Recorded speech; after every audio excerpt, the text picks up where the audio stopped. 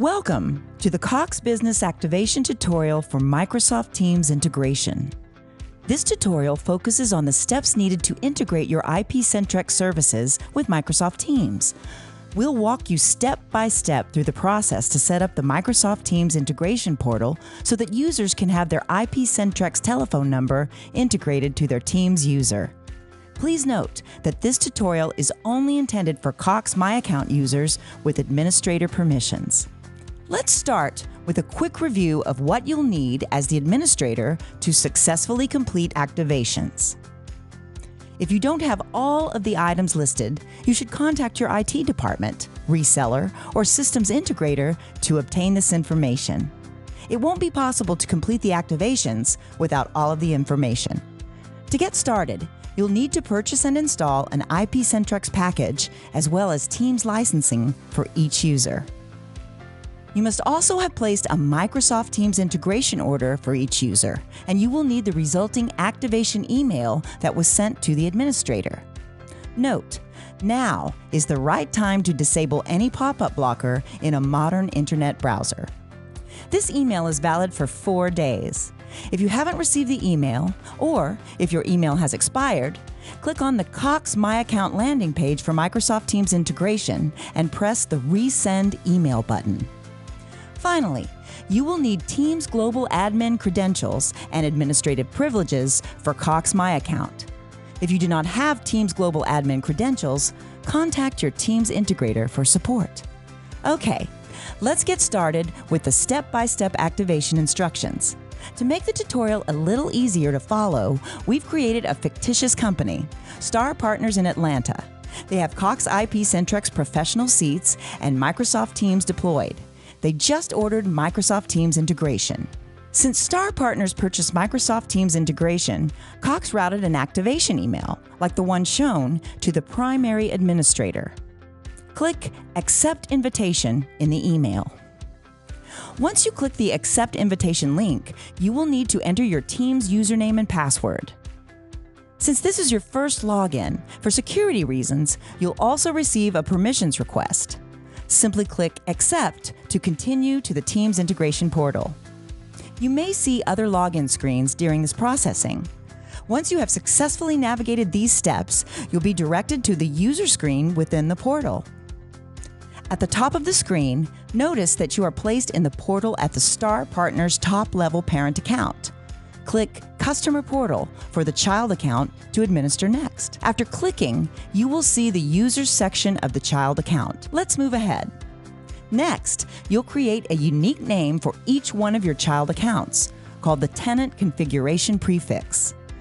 To enter the prefix requires several simple steps. First, click on Services from the top navigation menu.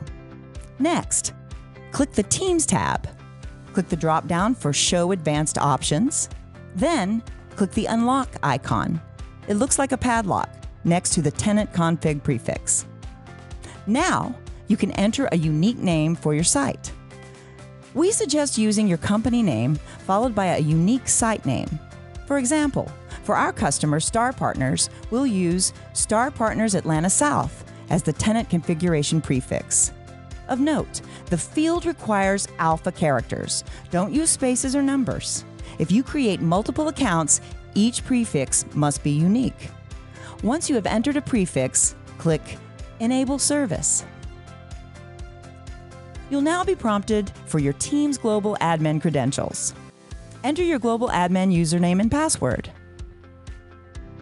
Typically, global administrators will have multi-factor authentication enabled and will be prompted to validate their login. Next, the platform will sync automatically to Microsoft. If syncing is delayed, you can press the Sync Now blue button at the top of the screen. The Teams integration portal will now retrieve Teams users from Microsoft. The portal will display status information while the platform syncs. This typically takes 15 minutes or longer, depending on the size of the activation. You may want to pause the video now until syncing completes.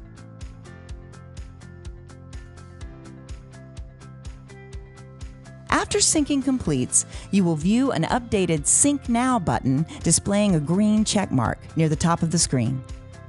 Next, use the top navigation menu to select the user screen.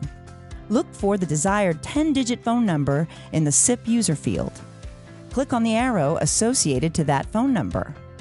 Ignore any informational messages shown during this step. Select a user from the drop down menu that you want to associate with the Cox phone number. Next, type this user's 10 digit phone number into the phone number field next to the Teams username. Click the Save button at the bottom right. Repeat these steps for each user. Scroll down to find another unattached user at the bottom of the screen and continue to associate users and phone numbers.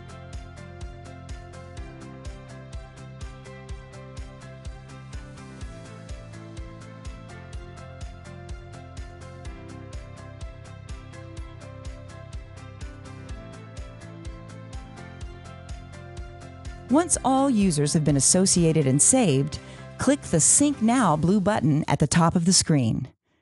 During the step, you may be prompted again to enter the Teams Global Admin username. Now, the system will integrate the Cox telephone numbers to the Teams users. The portal will complete the user setup during this processing, and this can take up to 15 or more minutes. After syncing, you may need to refresh the screen to complete this step. Now, check the radio button in the registration column to verify that a user has been successfully configured. If so, the radio button is green. Once synchronization is complete, the system is ready and the user will see a phone icon in their Teams client. Click the icon to open the dial pad. To test outbound calling from Teams, enter a phone number and click the call button.